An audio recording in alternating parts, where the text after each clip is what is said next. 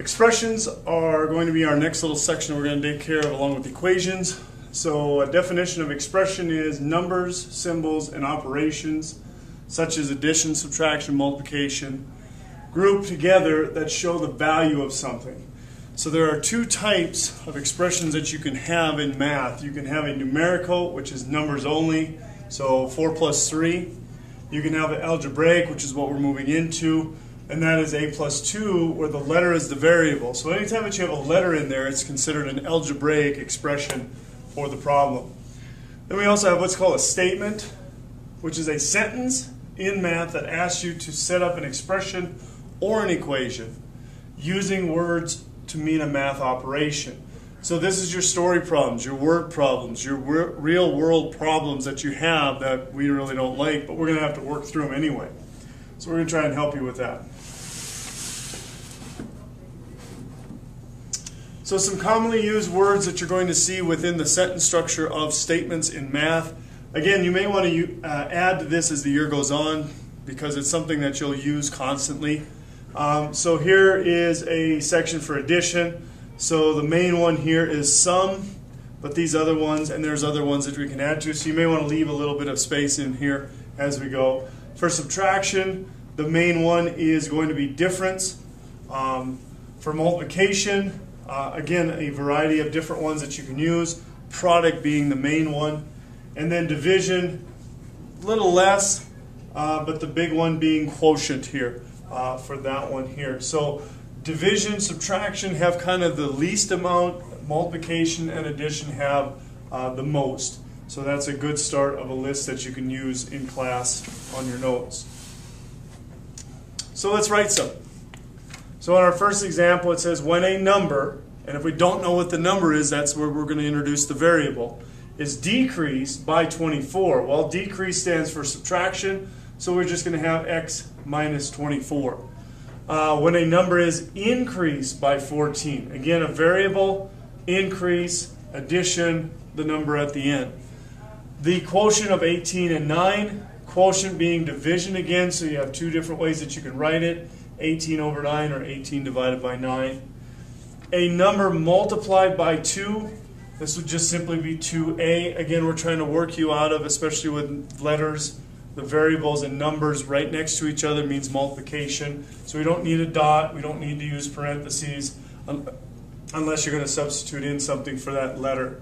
Uh, the last one here, the quotient of 9 times a number and 18. So quotient and times, so we have two parts of the problem here. So the, there's the product of 9 times, there's our quotient of division, uh, 18. So 9 times, which is divided by 18, will give us the quotient of that.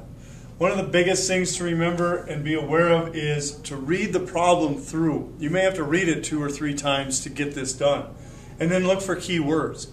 The differences, the quotients, the multiplied, the increase, the decrease the times. Those are things that will stand out to you as we go through this uh, for this section. Moving on to equations. An equation is two things that are the same using mathematical symbols. Uh, so one of the things that's used in an equation is an equal sign. Uh, again, the part of the word is equa, comes from the word equal. Uh, so we're solving for the variable. So we have now something to solve for because we have two sides of the equation. To solve it, we must do the opposite operation to both sides. So again, it's a preview of what we're going to get into. So we're trying to balance things out here. Each side has to equal each other.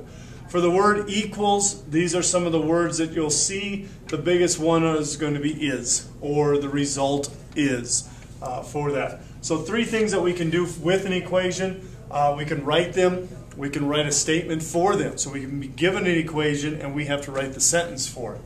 Uh, we can solve for the variable, which is the biggest thing that we're going to do. And then three, justify an answer for it. So this is kind of the checking part of what we've done in the past. Now we're going to kind of incorporate all of this together into the problems. So as we look at some equations here, write an equation.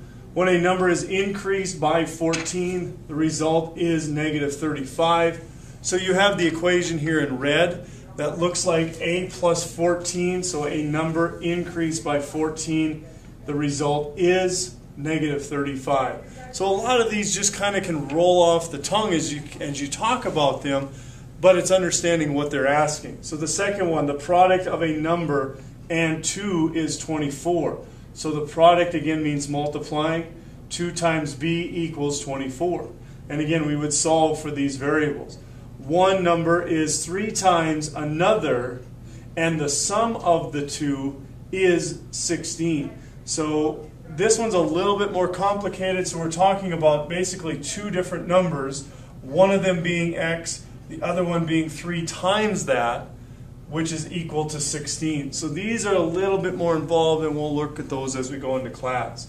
So if we do the other direction, where we've given the equation, now we have to write a sentence. So we can take this and write a statement for it. So the equation to a statement would read, a number increased by 14 is 44. And sometimes you want to keep them as basic as you can. A number multiplied by 10 is 30. So again, we're multiplying here is 30.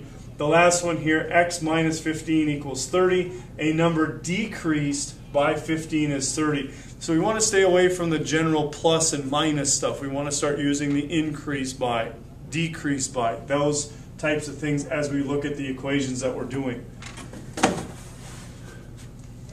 The justifying part here is you may just also see or hear the word satisfy.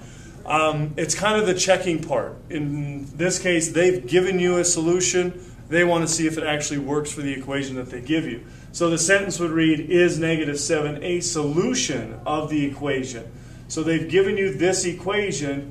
You're going to stick this number in for x. And again, we're going to use parentheses. We're going to simplify this side. And does this side equal this side? If they don't, the answer is no, this is not a solution for the equation because they have to be balanced or equal. So in this case, does negative 3 satisfy the solution? Well, here's our equation we're going to put in a negative 3 here. Well, I have two signs, two negatives in front of my number, and anytime I have two signs, I have to simplify them. So that gives me a positive 3, so that's what gives me the 13. It does not equal 7, so there it is in the sense of it's no for the answer. Is 1 a solution of the following equation? So again, here's our equation. We insert our 1 for the letter that we're given.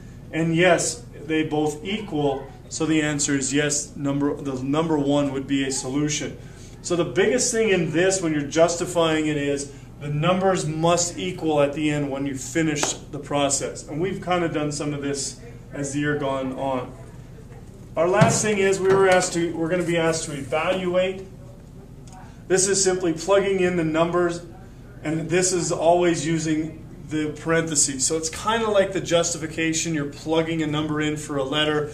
We want to use those parentheses because it really affects how the negatives work.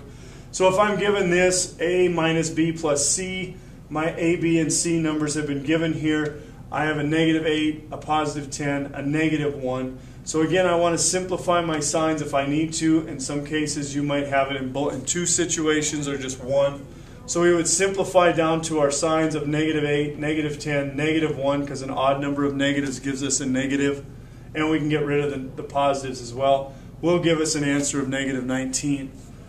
In our other one, again, a, a minus b plus c, and this could range from a lot of different ones. We've done a lot of these, so that's why I'm not taking a lot of time. We've got our a, b, and c here, 10, 9, and 12. Again, we're going to simplify our signs. Odd number of negatives gives us the negative. So we've got 10, a negative 9, a negative 12. If we combine those left to right, we end up with a negative 11.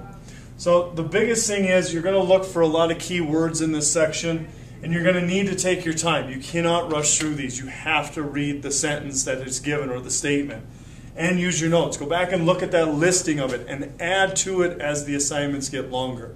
So good luck with this. Take your notes and use them.